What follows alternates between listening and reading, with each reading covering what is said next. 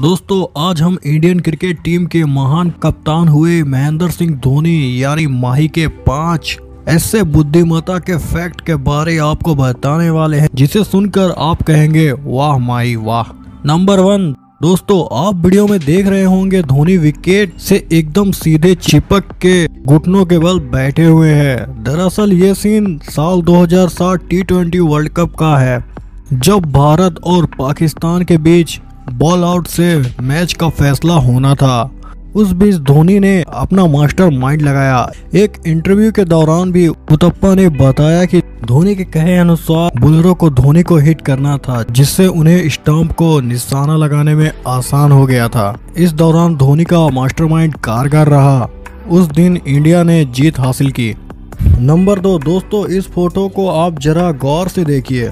इसमें महेंद्र सिंह धोनी, सचिन तेंदुलकर को white ball फेंकने का इशारा कर रहे हैं। ये सीन साल 2007 में भारत और पाकिस्तान के बीच खेल रहे एक मैच का है। दरअसल, अफरीदी उस समय पूरे फॉर्म में थे और स्टेप आउट करके सचिन को चौका लगाए जा रहे थे। तभी धोनी उनके अगले स्टेप को समझ गए और सचिन को इशारे से कहा कि बॉल को आउटसाइड फेंके और तभी अफरीदी स्टाम्प आउट हो गए। दोस्तों, धोनी के इस माइंड के लिए एक लाइक तो बनता है।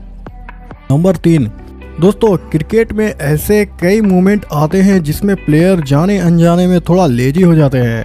और बेस्ट प्लेयर वही होता है जो ऐसे मोमेंट का फ़ायदा उठा सके। तो बात उस दिन की है, साल 2016 में भारत और ऑस्ट्रेलिया के बीच मैच चल रहा था। स्ट्राइक पर थे मैक्सवेल और नॉन स्ट्राइक पर थे मिसेल मार्स। और उस समय भारत को एक विकेट की बहुत ज़रूरत थी। तभी एक बॉल पर मैक्सवेल ने कवर पर एक शानदार शॉट लगाया। मानो लग रहा था कि यह बाउंड्री टच कर जाएगी, लेकिन उमेश यादव की शानदार फील्डिंग से यह पॉसिबल नहीं हुआ। ऑस्ट्रेलियन बैट्समैन दो रन ले चुके थे और तीसरा रन उन्हें मिलने ही वाला था, लेकिन धोनी के रहते ये कैसे संभव था? आपको बताते हैं कैसे? दरअसल जब ऑस्ट्रेलियन बैट्समैन जब तीसरा रन के लिए भागे, तभी धोनी स्टम्प के सामने ऐसे खड़े थे, मानो वो एकदम रिलैक्स हैं।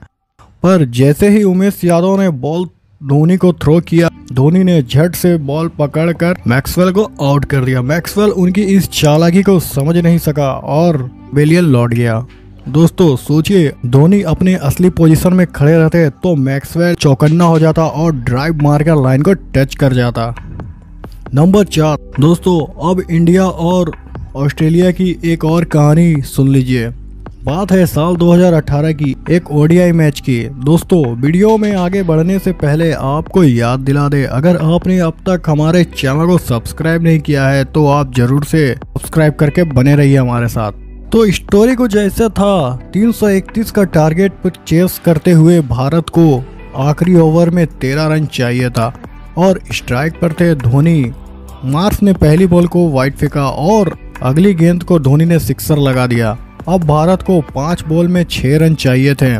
धोनी ने हेलीकॉप्टर शॉट लगाकर मैच जिताने का प्रयास किया, लेकिन वो कैच आउट हो गया। अब आप सोच रहे होंगे, इसमें धोनी ने क्या चलाकी की? तो आपको बता दे, वो जान गए थे कि वो आउट होने वाले हैं और नया प्लेयर के लिए मैच फिनिश कर पाना बहुत मुश्किल हो जाता। तो धोनी ने तुरंत मनीष पांडे को पिच क्रॉस करने का इशारा किया, जिससे कि मनीष पांडे स्ट्राइक पर रहे। फिर किया था? पांडे ने दो गेंद में दो चौके लगाकर मैच फिनिश कर दिया। दोस्तों आप धोनी के इस मास्टरमाइंड को कितने नंबर देंगे?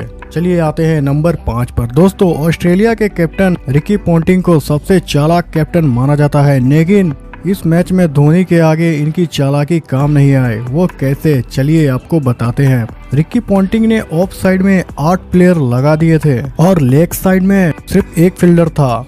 बॉलिंग कर रहे मिचेल जॉनसन। को कहा गया था कि बॉल को केवल ऑफ़ साइड ही रखना है, लेकिन एम एस धोनी को उनकी चालाकी समझ आ गई। फिर क्या था? M S Dhoni off stump से बाहर निकल गए और बॉल को लेग साइड की ओर पुश कर दिया। विकेट कीपर गिलक्रिस्ट को ही बाउंड्री तक दौड़कर जाना पड़ा।